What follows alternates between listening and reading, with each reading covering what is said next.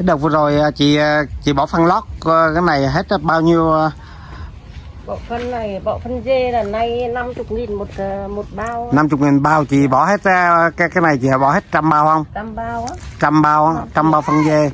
Diện tích là, là bao nhiêu đây chị. Đây là cải cúc Đà Lạt trong mùa mưa đây. Mùa nào mùa mưa. Cải cúc cũng khó trồng lắm. Nói chung là nông sản Đà Lạt mà vào mùa mưa thì rất là khó trồng cây nó cũng thưa thưa thưa thớt thưa thớt như vậy. Mà cây đang non như thế này cũng vẫn phải thu hoạch. Giá cả thì nó không ổn định đây.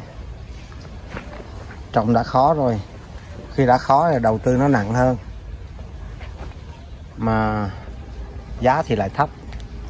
Nó chỗ mọc được, chỗ không mọc được. Đó. Mọc kém lắm.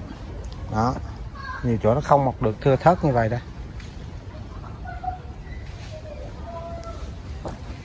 nhưng mà giá lại không ổn định.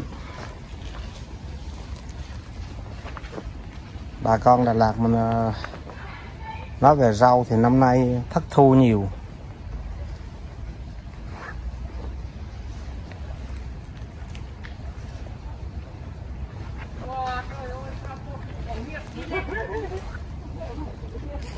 Đấy, đây là rau cải cúc của Đà Lạt đó.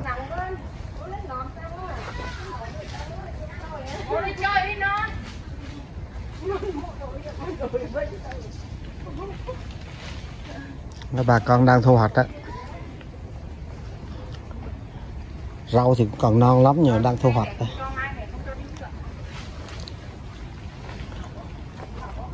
mặc dù giá cả nó không ổn định nhưng mà vẫn phải thu hoạch. Chị ơi, cho hỏi thăm cái hôm nay giá cải cúc mình nó có ổn không? Ờ, thấp ờ, à, thấp hả? Giá hơi thấp hả? Dạ. rồi. Dạ. nhưng mà nghe nói thấp quá thì à, đúng là đầu tư như thế này. Đây cái, đấy. à giá nó hơi thấp đây nè. Mình cũng nghe nói thấp rồi. Nên đôi khi mình không muốn hỏi giá. Hỏi giá thì cái bà con cũng hơi buồn. Nhưng mà bà con tự nói đó giá có bảy tám ngàn phải không? Mà cải cúc này rất là tươi rất là non đây. Mềm sụp đây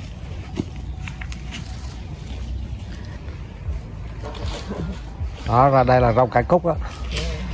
Còn gọi là rau tầng ô của Đà Lạt đó. Tầng ô của Đà Lạt mình thì à, đa số là trồng trong nhà kính không thôi. Ở đó, trồng trong nhà kính. Đấy, nhà kính của bà con Đà Lạt mình đấy. Nếu mà nói về tiền thuê đất của cái nhà kính này thì thì một năm một năm một sào nó đến ờ, bốn năm chục triệu lần chứ nó không có thấp. Có cả nhà kính, có cả hệ thống ờ, tưới đây. Nhưng mà trồng ờ, mà nó cứ giá thấp hoài thì ai trồng nổi. Ha. Thành ra mong sao cái giá cả nó ổn định cho bà con có nguồn thu, có lãi tí tí đỉnh. Mùa này nó bù mùa khác chứ. Mấy mùa này thấy cái cái giá tầng ô nó không có cao bảy tám ngàn thì à, bà con không có lấy lại vốn đâu. Đầu tư nặng lắm tiền thuê cũng nặng lắm.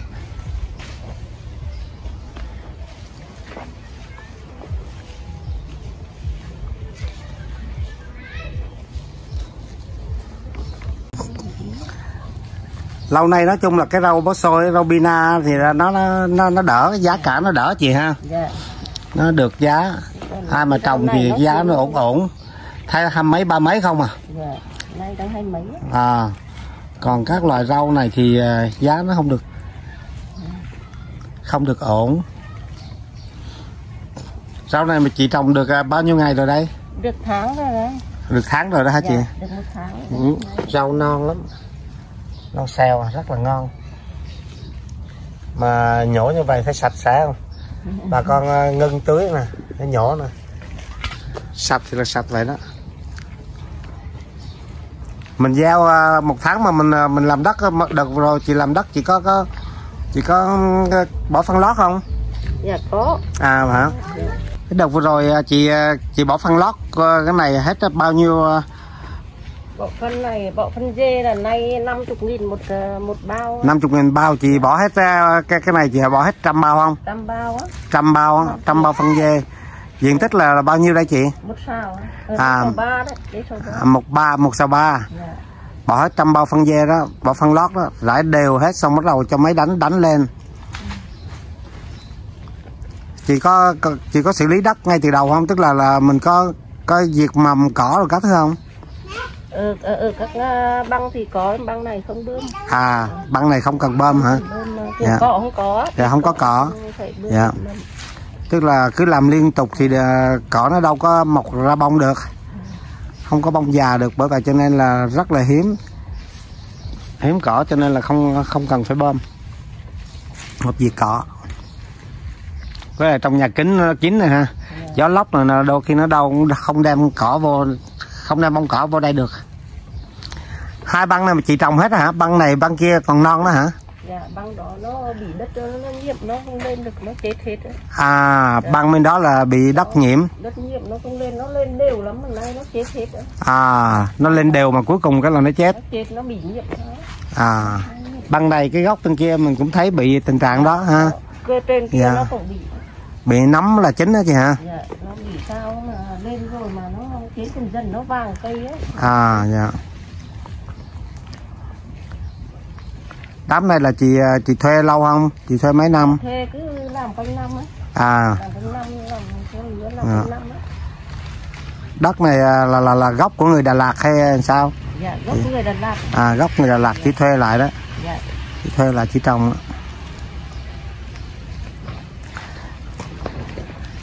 chị làm được mấy mua rồi chị? Dạ đây cũng được hai năm nữa à được hai năm rồi hả? Thế à, chị thuê qua hai năm chị thấy có lãi không hai năm nay không được trước đây thì họ người ta làm chứ hai năm đây làm năm ngoái thì cũng đỡ đỡ năm nay rồi hàng nó hư với giá cả không được á. Dạ. Cũng lỗ. À lỗ. Còn năm ngoái thì ờ, có có đợt thì mùa mưa này nó cũng đỡ có giá hơn nhưng năm nay không được. À năm nay không được giá. Năm nay là không được giá đều đều hết các hàng thành ra là năm nay lỗ. Năm ngoái thì được được tí. Thuê đất cái giá cao lắm rồi mà cuối cùng hàng mà không được giá là chóng mặt chứ không phải đơn giản đâu ha chị ha. Dạ. Đôi khi có những tình trạng mà bà con làm mấy năm ba bốn năm được là được lãi một số xong bắt đầu thặng dư một số đầu tư. Tiếp theo một năm mà coi như nó rất nó rất giá liên tục là coi như là nó kéo hết mấy năm khác là lỗ lỗ sặc sư luôn á chị ha. Dạ. Ừ. nhiều người hết vốn luôn đấy. Ừ. dạ. Hắn mà đều đều cho thì cứ băng kiếm được ít triệu thì cũng đỡ mà. À dạ. Hàng mà nó bị rẻ là bù băng này qua băng kia rồi à nó bù băng này qua băng kia thì cũng đỡ. Ừ. đây là mình làm này gia đình mình làm không hay là là mình có thuê mướn gì không? Dạ con đi làm công với chú. À con đi làm công hả? Dạ. Công ờ, một ngày mình làm là được bao nhiêu tiền cháu? Dạ nói chung tùy nhà trả chú À. Nếu thì trả được nhiều con không thì đủ tiêu đủ tiêu là khoảng bao nhiêu? Tầm 300 thôi chú. à tầm 300 ờ, một ngày hả? Một ngày mình làm được 8 tiếng không? Dạ nói chung tùy thuộc vào hàng nữa. À, tùy thuộc vào hàng hả? Hàng nhiều. À hàng nhiều hàng ít hả? Dạ. Nhưng ngày hôm nay ờ, chủ bảo là là là là, là thu mấy tạ đây đâu cũng được đâu cũng phải gần được tấn đấy chú. À ngày hôm nay thu gần được tấn hả? Dạ. Hồi sáng nay giờ mình được mấy tạ rồi cháu? Chẳng giờ được ờ, ba bốn tạ rồi chú. À ba bốn tạ hả? giờ thu đến chiều là đừng tấn ha dạ. thôi kệ nó nhưng mà nếu mà hàng nó chạy chạy được thì cũng được. Dạ chủ hàng à, nó chạy cho nó nhanh để mà trồng cái cái lứa khác chứ. Bây giờ cái lứa này nó giá nó không cao rồi mà sợ nhất là nó không cao nó còn chậm hàng nữa chị ha là giá là rẻ mà mình không bán được nữa là ừ, là là nhiều. là thua. Miễn là nó cũng chạy được hàng thì cũng được rồi. Hai cát ập lại với nhau. So lại với nhau xong mà cục cứng lại. Là nó ép xuống là không có hư đâu. Đây anh này anh nhỏ nhỏ đây mà anh ờ, anh đóng hàng thấy đẹp lắm nè. Đóng hàng đẹp lắm nè. Từng lớp từng lớp rất là đẹp đây đây. Đây. Anh đóng hàng đẹp lắm đây. Từng lớp từng lớp rất là rạch ròi. Rất là ngay ngắn. Đây anh đóng hàng rất là ngay ngắn. Báo chí rồi các thứ anh lót rất là ngay ngắn nè.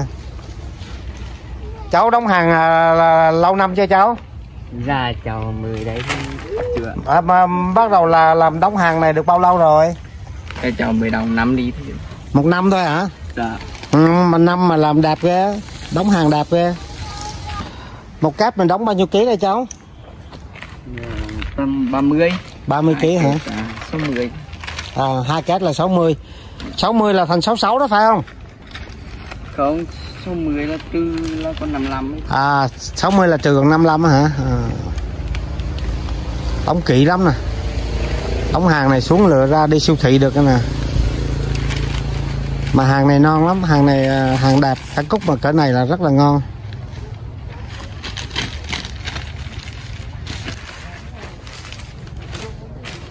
Ủa sao đằng kia mình thấy đóng bằng cát đây bây giờ là đóng bằng thùng cháu giờ vườn thích ăn thùng thì mình đóng thùng. À đây là vựa khác nó yêu cầu đóng thùng hả? Dạ. à, có chỗ thì đóng bằng cát mà cái chỗ này đóng bằng thùng giờ chắc là chợ khác nhau đây hả dạ. Chủ khác nhau đây. Chủ nhập khác nhau đây. Ở gì Trà Mát thua thu- mình thuê cái giá nó có cao hơn à, bằng cái này không chị? Nó cũng bằng nhau á. À vậy hả? Dạ nó cũng bằng nhau. Có có người nó cao hơn đất mà đẹp thì cao hơn. À dạ. dạ, tùy. Mình ở dưới ngoài dưới đó mình có thuê ngoài trời không? Hay là Dạ, thuê cũng trong nhà kính? lồng thôi chứ cái rau À. này làm trong lồng thôi chứ không à thấy rất trời rất rộng người ta trồng ngoài à, ngoài trời. Cây nó to nó được được sản hơn á ha. Nhưng mà giá nó thấp. ngoài trời nó không bằng trong à giá ngoài trời nó không bằng trong nhà.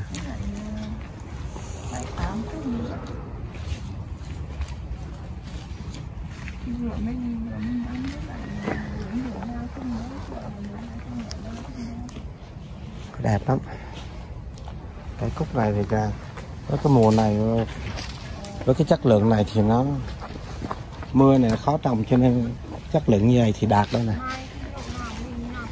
Theo cái cái đám này đạt đây nè. Nhưng đều vấn đề cái giá cả thôi. Nếu giá cao một tí xíu thì bà con đỡ. Giá thấp tí là thua. Chị vào à, Đà Lạt này mà à, chị à, hợp đồng mà trồng như vậy là được bao nhiêu năm rồi chị dạ? Cũng được 10 năm rồi. À, chị hợp đồng à, trồng được 10 năm rồi hả? Hợp đồng thì mới đi làm cái này thì được dăm sáu năm thôi. Đi làm thì à ngay từ đầu mình vô mình làm công thôi. Việc làm công. Thôi. à, rồi bắt đầu khi mình quen dần là bắt đầu là mình à, hợp đồng đất rồi mình làm mình làm. Rồi mình kiếm mối lái rồi mình à, mình giao. Dạ, dạ. à đây là cái cách làm của bà con miền Trung mình đi vào đây làm như vậy đó đầu tiên thì à, làm quen lần lần. Xong rồi à, khi quen rồi á là mình à, sẵn sàng mình cái hợp đồng mình trồng luôn để mình giao hàng tìm mối lái để giao. Tới năm sáu năm nay mà chị làm như vậy thì chị chị chắc lẽ là đủ dư để mua nhà rồi chứ ha? Dạ, chưa hả chị? Làm, làm đủ ăn thôi chứ không có chưa có dư bao nhiêu. Nếu mà làm đủ ăn thì mình đi làm công cho nó khỏe. Làm khi được khi khi bắt rồi bù qua bù lại cũng không ăn thua. à Dạ, cũng chưa ăn thua đâu hả chị? Chưa thua, dạ. Dạ. Thế mình nghĩ là làm năm sáu năm rồi mà tính toán rồi các thứ rồi à, buôn bán rồi đi chạy, hàng chạy tới chạy lui nó cũng dư ra được à, ít tỷ đó mà mình mua nhà chứ. Khó lắm. Khó lắm hả chị? khó lắm. Hôm nay khó lắm trước hả? họ làm thì họ đang có lời chứ nay họ đi nhiều á. À. Nay họ ra đi buôn nhiều À. khó lắm. Mày làm đủ ừ, cái công mình đỡ đi à, làm thuê rồi thôi chứ còn không có không có dư lắm hả? Mấy dạ. dạ. Gọi đi à, phụ thuộc người ta thôi chứ à tại vì cái tiền mà thuê tiền thuê đất nó cũng cao quá nè dạ. cho nên là bà con ờ, khó khó dư lắm luôn. Đất cái giá nó được thì đang đỡ chứ còn giá nó, giá nó bấp bênh quá thành ra là nó nó nó, khó dư lắm luôn. Mình cũng thấy điều đó công có khi là lộ tiền công dạ. Ra được tiền đất thì lộ tiền công có khi là lỗ tiền công luôn ha. Trả được tiền đất lỗ tiền công. Còn bên này là cải cúc à, bà con trồng lưới sau đây. Thu hoạch xong bên này là bên này chuẩn bị thu đây. Nhưng mà nghe nói là đợt này đó bỏ phân lót cũng kỹ lắm đây nè. Nhìn thấy đen hết đây nè. Nhưng có điều đợt này à, cái cây cải cúc cái giống bên này ờ, ương lên thì cũng tốt đó nhưng mà đều là lên đều nhưng mà mầm thì lên đều. Nhưng mà khi lên rồi thì cải nó đứng một số vặt nó đứng nó không không mọc được nè. Đây. Đó, cho nên mấy cái vặt này là vải nữa không có để thu nè. Còn mấy cái vặt kia thì nó lên xanh xanh xanh xanh. Nói chung là vườn này không đạt cái đám này không đạt. Đó cái chỗ này thì nó lên tốt tốt một tí nè. Thành ra cái đợt này nó lên mà nếu mà không được giá nữa là là lỗ chết luôn. Ừ. Bên này nó lên cao về rồi, bên kia. Phía ngoài kia rất là thưa. Nó không bù qua vườn này. Vườn này thì tốt đây. Tốt nhưng mà không được giá bà con phải thuê ờ, với cái mức là từ 40 đến 50 triệu một một sào, một năm ở trong nhà kính và có hệ thống tưới, có cả hệ thống tưới tự động kìa, ở trên đó. Mức thuê cao lắm.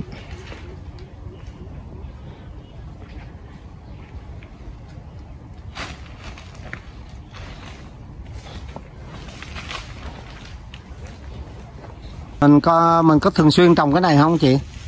Dạ cây này là chủ yếu cây này rồi khi nó khi nào nó đất nó bị cháy là mình lại đổi cái à. Lô lô bớt sôi. À, khi nào mà cần thiết thì mình à, sẽ chuyển đổi cây trồng để mà nó nó nó nó luôn canh để nó, nó đỡ bị nó đỡ cháy á. À, đỡ, đỡ bị cháy. dạ.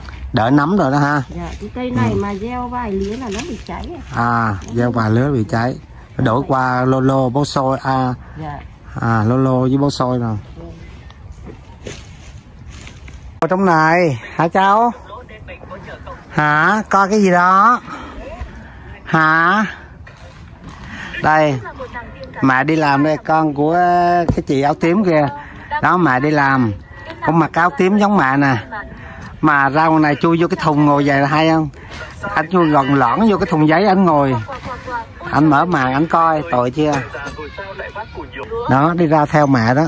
Trời mưa mà mùa hè đây còn nghỉ mấy ngày, ở nhà thì à, không ai giữ, mẹ đưa ra ngoài đó. Đi theo làm với bà, mẹ với bà ngoại.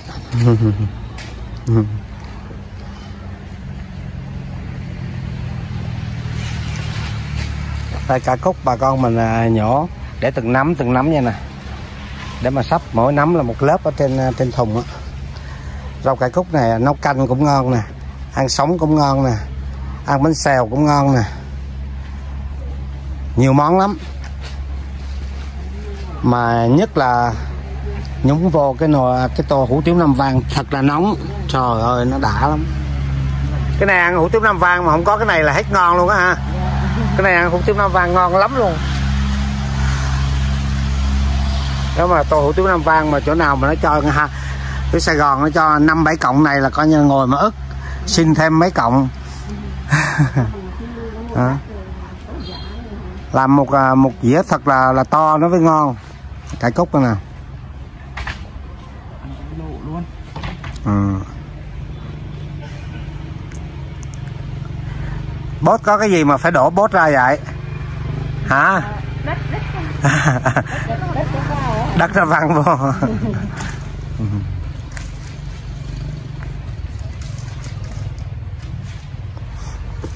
Rồi sao bà con à, mà miền Trung mình ờ, vô ờ, lập nghiệp ở Đà Lạt này, nhiều lúc mình thấy thương lắm. Rất là cần cù. Ngày nào cũng đi ờ, trên đồng hết á.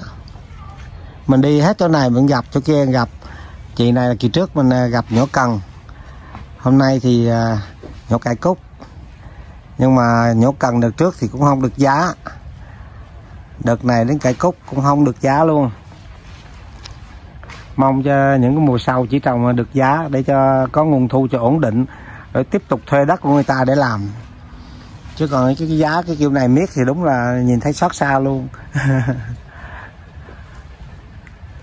Công bỏ ra nhiều lắm chứ đâu biết đâu. Mà đây thì nhờ là mấy chỉ là có công nhà đây nè. Đưa công nhà huy động công nhà ra làm á. Mới làm nổi chứ còn nếu mà cái thuê mướn hết thì chịu gì nổi. Trời Đà Lạt mới mùa này thì đợt này thì đang đang cơn bão số 3 đây. Đứng trong nhà lòng quay được đây chứ mà ngoài trời thì mưa mưa xì mưa sụp. Giờ nó cũng đang mưa đó.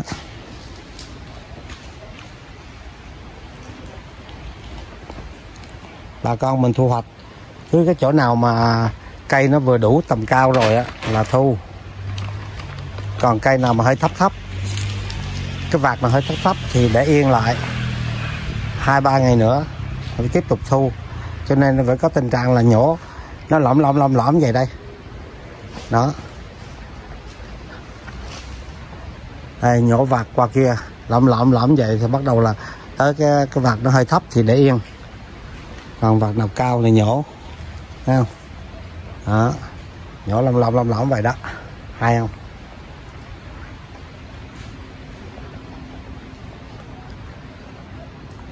Đây vạt này cũng thu được rồi nè. Chuẩn bị thu đây.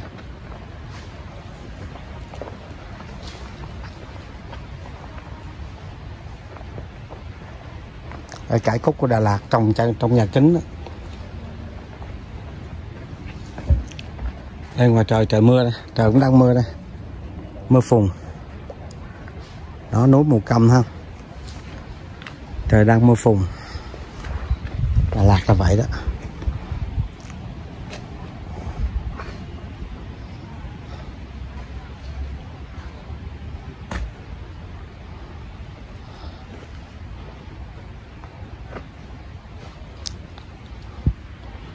Nhà nhà kính này thì trang bị cũng ờ, kỹ càng đây. Rồi ờ, hệ thống tưới tưới bách phun sương từ trên cao hết. Gọn từ trên cao, kéo từ trên cao hết. Vậy cho nên mấy cái nhà kính tiêu chuẩn như vậy thì ờ, thuê nó cũng giá tương đối cao. 45 triệu một năm chứ không ít đâu. Một sào. Một sào là một ngàn mét vuông.